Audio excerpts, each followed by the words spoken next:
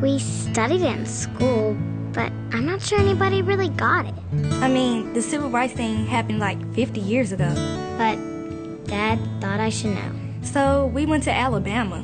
At first I thought, oh great. But we followed the civil rights trail. To the Civil Rights Institute, Dr. King's church. the bridge in Selma, and I think I knew what he was talking about. Some things you just can't get out of the history book. Start your civil rights journey at alabama.travel.